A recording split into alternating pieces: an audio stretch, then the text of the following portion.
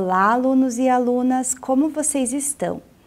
Nessa videoaula, vamos falar sobre a etapa da observação e participação, momentos muito importantes para que depois vocês possam planejar. Nesse momento que vocês estarão indo para a observação, vocês já devem estar com o jaleco pronto, com os crachás, para que vocês possam iniciar a etapa da observação.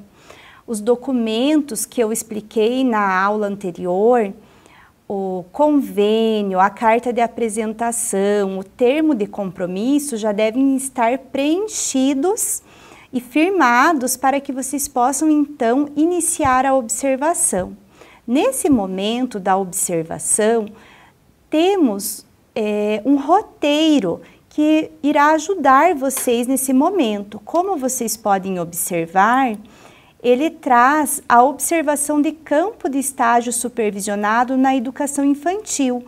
Alguns elementos que ajudam vocês a observar o contexto, as práticas desenvolvidas na educação infantil e que vão auxiliar vocês no momento do planejamento e também na hora de construir o relatório de estágio.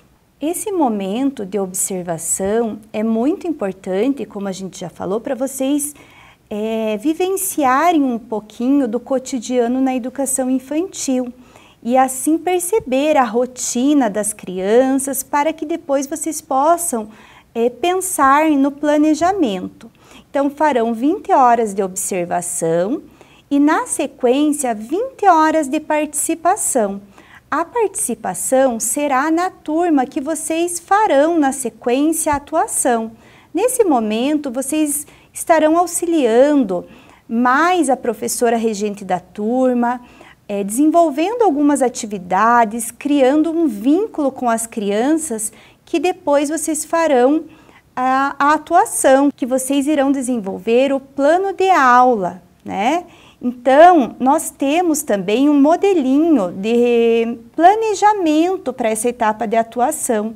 É importante que vocês já deem uma olhada nesse roteiro, que vocês possam ir percebendo algumas situações e depois planejar né, de acordo com essa rotina que as crianças têm, de acordo com os espaços que a instituição tem. Certo, pessoal? Então, aguardo vocês na próxima aula.